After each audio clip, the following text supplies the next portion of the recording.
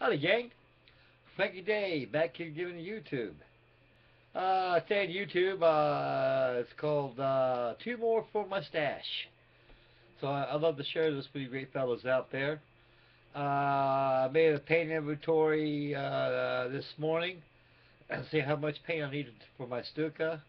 I had no Hellblau, no Dunkelgrund, and uh, didn't have any uh, any more of that uh, dark green too they use, which is uh, brown gr brown grunt, granite grunt, RLM colors. I mean that was uh, that was uh, registered for the Stuka for, all German aircraft.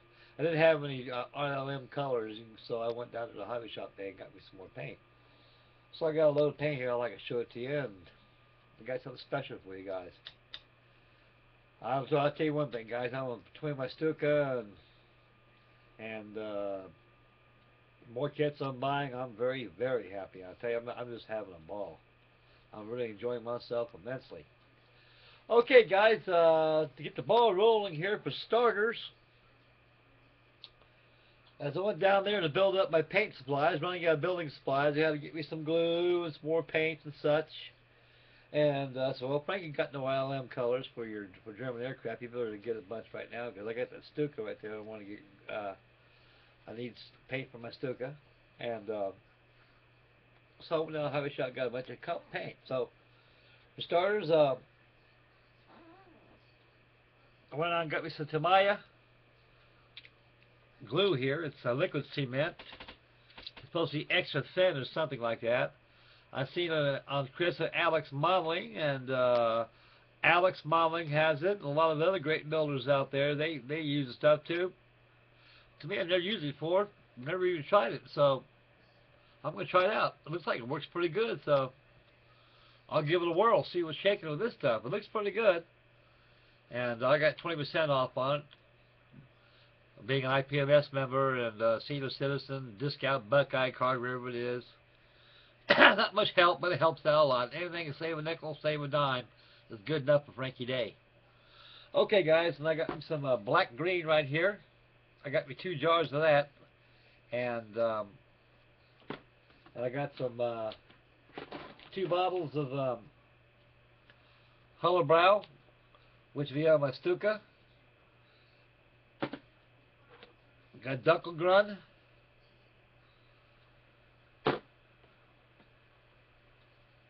RLM yellow.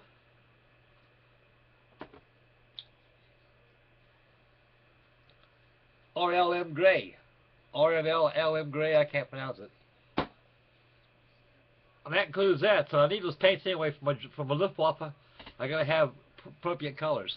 Because I try to uh, mix some colors, use my Federal Colors chart I have, and uh, so far it has those uh, Luftwaffe markings. So most of my paint chips, fellas, right here, I highly recommend this. Maybe you guys got some. These are called paint charts. If you can take your paint and mix it, if as long as you know how to mix color, your paint colors, you can uh, you can be able to uh, mix it using these federal color charts to give you. These are all federal standard color charts. Uh, nothing funny about these charts. These are actually the real color chips that aircraft use. So far out of this book right here, using greens and browns and grays, I came up with two colors that'll match up, that'll match the Tamiya brands and the Model Master brands.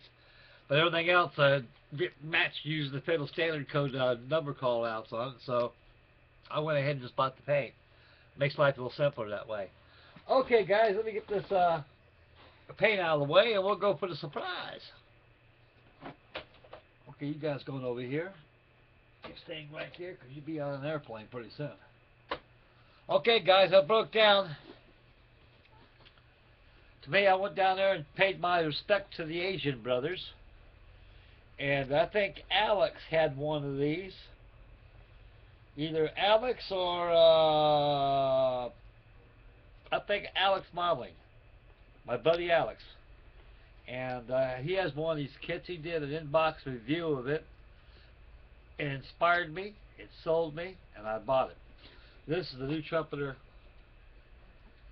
132nd scale Messerschmitt BF109E3. This is Adolf Galland's uh, mighty Messerschmitt that he used. And uh, it comes with uh, three different uh, paint schedules. It comes out First paint pay schedule comes out with Galland's 109. On the side panel, it comes with a Swiss and another color right here, and uh, which I'm familiar with. And uh, this color I'm familiar with. This is the paint schedule I'll be doing on. And uh, again, a very pricey kit.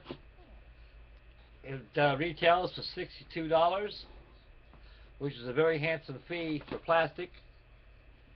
And uh, when you're dealing with Asian brothers, you're gonna pay the cost. And uh, personally, I like their kits. They're expensive, but you only live once. And uh, it's a very good kit. Excellent kit. I opened the box, reviewed the instructions and everything. Typical Trumper. It comes with photo etch parts, rubber tires, and such. And uh, we'll open the box. Take a take a peek, fellas. So anyway, once again, here's the box top right here. And Trumper, they do not include any test shots of the actual model. Everything is just painted pictorial on here, give you an idea of what color you want to paint your plane. Okay, once the box tops is opened, you're greeted with one, two, three, four, five, six, seven, eight sprues. Decal sheet, photo etch sheet, photo etch parts, a very handsome decal with swastikas that got to be formed by decal. It's not formed in its entirety as a swastika. It's like that of my trumpeter uh, Focke-Wulf Condor that I had. Each each swastika has two decals each swastika, so I don't know why they do that. Why just go ahead and make the swastikas? Makes life easy, but I'm grateful that they did that. So thank you, trumpeter. I'm like Alex, like swastikas. Okay, sprue number one, guys. We get close over here, this is the uh, right-left fuselage half right here. As you can see, uh, you what I'll do, guys. I'm going to be here for a while, so you might as well get some popcorn, get some beer, get a glass of water, milk, whatever you want to drink, and uh, we're going to do this thing right. And uh, right now, I'm kind of pretty excited about this stuff. So these are builds down the line, which could turn into group builds. And uh, sprue number one comes out with a fuselage, has. Matter of fact, I'm save this goes back in there. I don't want no loose parts. Sixty-two dollars. I don't want to lose nothing. Okay, guys. Uh, there's the fuselage right there. As recessed panel lines, just right. Typical trumpeter. And uh, you got your rudder. Got your rudder right here. That's the fuselage right fuselage has. You got your top right here. That's sprue number one.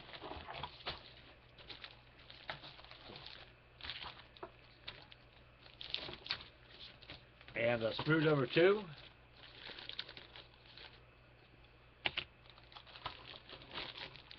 Actually, I did this before I opened it up.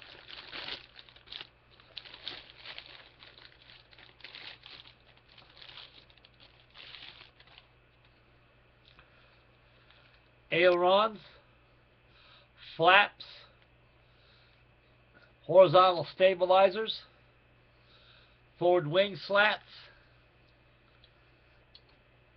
intercooler intake fairings, pit top tubes, exhaust bearings, counterbalances for the control surfaces. That's on that sprue right there. On number two. On sprue number three.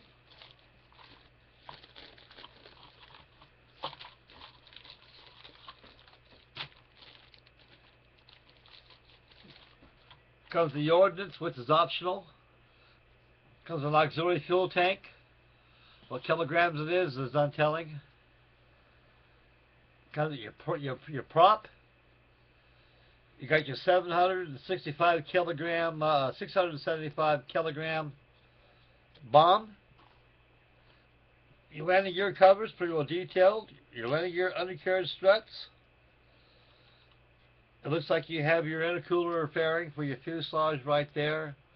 And you got a blister right there which probably fits underneath the wing.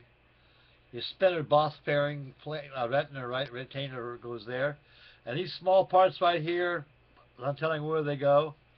They probably go inside the cockpit itself. That's I surmise. And uh, where did it go? Here it is.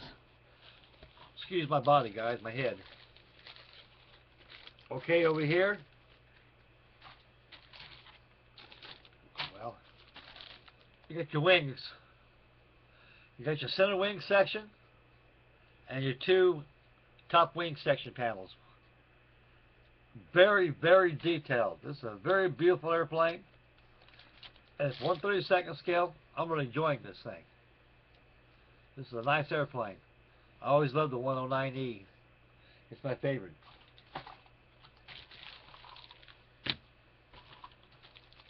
And lastly, the other two sprues right here are just all fittings such as your cockpit floor, your engine. Your engine is comprised of 27 pieces, which makes the engine. Each part is very detailed. This is a gorgeous kit. This is a very gorgeous kit.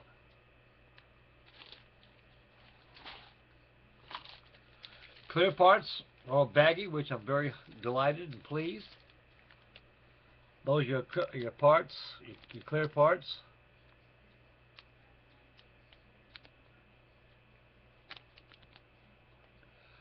They're very, very clear, very clean, not foggy at all.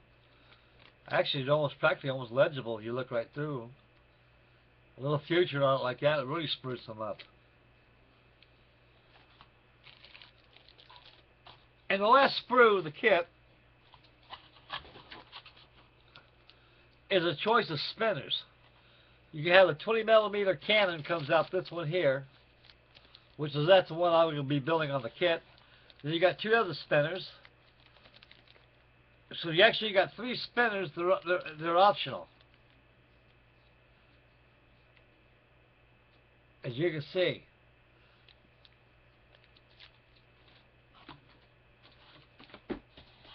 Boy, about the stuff on the deck here. I don't want the carpet monster getting that. That'd be like uh, throwing money away. I give you some photo etch, typical tr trumpeter photo etch. Some parts go uh, intertank. These are inner intercoolers, the grills that fit on there, and some cockpit parts and some miscellaneous parts goes on there. I like photo etch if it comes with the kit, but if it don't come with the kit, I don't get it. I just build it out of the box. Only time I use photo etch if I have to buy the kit if, if I had to enter into a show. You got hundreds upon hundreds of people coming there and you got judges out there, that's when you you slap on the photo etch and give it your Sunday finest. Okay, guys. Uh, huh, last sprue there looks like your landing lights right there. Gun sights too. I also included a kit rubber tires made out of real rubber. And they got tread on them too. Very beautiful. That tail wheel looks like an O-ring. Matter of fact, all three look like an O-ring. Okay, that includes the parts. Now they give you a, a brochure color call out. This aircraft is Adolf Galland's aircraft. This is the one I'm going to be modeling. I'm very familiar with this paint schedule on here. But the other two, I'm very doubtful I've never seen them done that way before. And it gives you the color call-outs of Vallejo. Model Masters, they only give you two call-outs right there, but everything else is either uh, it's Vallejo or Mr. Uh, Hobby Paints. Tamiya, they give you a, and Humbrol. So actually, uh, Mr. Hobby Paints is what they really uh, trying to uh, put on this color call-out chart right here. So they got the Humbrol. So actually, Tamiya's on the and and uh, Vallejo, they're pretty much neck and neck. So Model Master is only about two paint, two colors they give you. It's called white insignia white. There's Model Master, and you got uh, burnt uh, burnt iron. That's Model Master. It's probably in the metalizer uh, department. The instructions.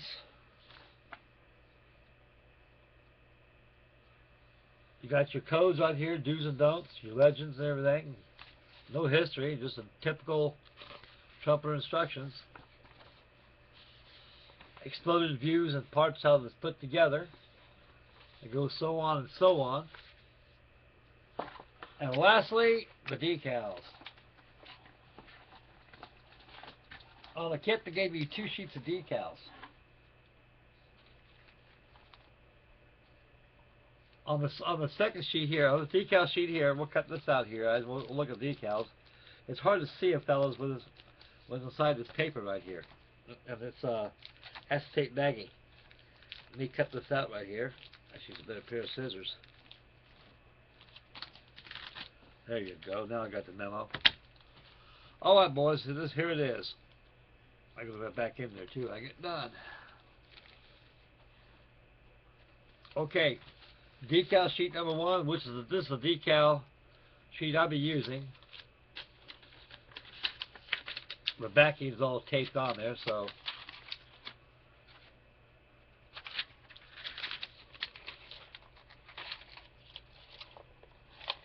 Boy, I don't know why they tape that like that. That's bad.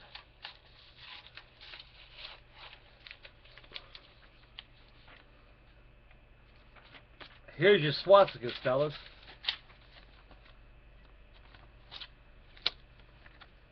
Right here. Here's your swastikas. They come with two, four, six, eight, eight pieces. So I imagine there's four of them that makes a swastika.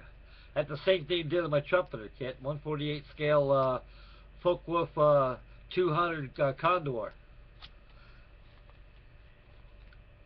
And also you got your instrument panel decals on there, Galland's uh, decals. That's on that sheet right there, uh, sheet number one. And lastly, a sheet number two, put the backing paper back on. I don't want to scratch the decals in. And the other one is, is very colorful. That's the one that has the Swiss markings on it. So that's probably done pre-war measurement before Luftwaffe, well actually it was the Luftwaffe anyways, before hostilities broke out. Okay guys, that concludes the inbox review of the Trumpeter 132nd scale BF-109E. Adolf Galland's uh, great Messerschmitt. And we'll put that down here. After the video, get that thing boxed up and squared away. Here's a new one, guys, another new one. Now that kit, that trumpeter kit cost me, uh, it, was retailed to $62. With my this discount, a Buckeye card is a senior citizen card. And uh, so senior citizen card I didn't even throw in because you don't get much off anyway. And uh, since I was my PMS member, a $62 kit was marked down to $51. So I saved a little cash there. I'm very happy. And uh, I'm very grateful I got the kit. I'm very happy. It's going to be a wonderful kit too. Okay, lastly guys, I went and got this. This is a new release by Revell and Monogram. This is the uh, English version of the PBO or PV1 Ventura, which is a which is the uh, the cousin to the Lockheed Hudson bomber. Now this is the English version of the Ventura bomber. This is 148 scale. The kit lists, lists in the hobby shop for $37.95. I got it for $28. This is a wonderful kit. The treatment of the instructions, the treatment of the kit in general is totally, completely different and miles better than their first production of the United States Navy Ventura PBO bomber, which was an excellent kit, beautiful kit. That the parts on that kit are the same as used on here.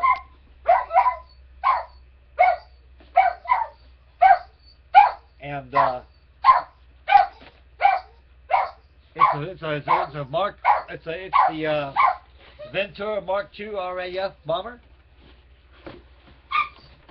And we'll open it up. Raleigh, hush up, buddy. The instructions right here. You're greeted with the instructions. And I'll tell you one thing, it's a beautiful kit. Instructions tells you the history of the aircraft and the, the color call outs. Uh, well, they'll put an extra attention to detail to the instructions. And here's all your color call outs right here, fellas. Get closer so you can see. I'll get kind of turned around here. Your color call outs right here. Oh, here's all your parts list and everything. And uh, parts of the kit here, how it's put together and everything. Instructions are instructions. And you're greeted with uh, nine sprues. You got the big fuselage section right there, which is very beefy. It's a big bomber, a beautiful looking airplane it is. This thing is big.